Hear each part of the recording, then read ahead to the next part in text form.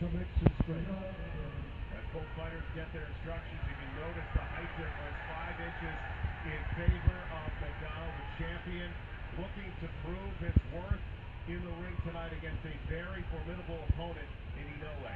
You know what his trainer better be whispering in McDonnell's ears, something I just touched on, your identity.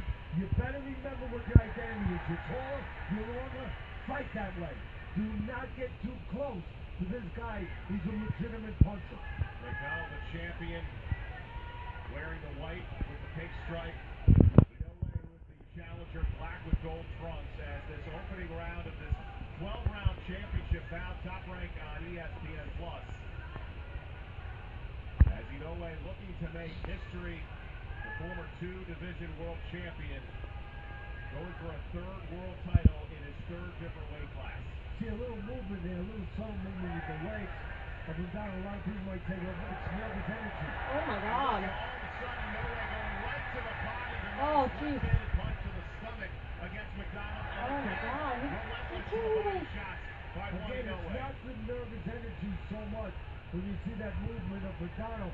He's moving a little to the side, trying to keep the power puncher from getting set.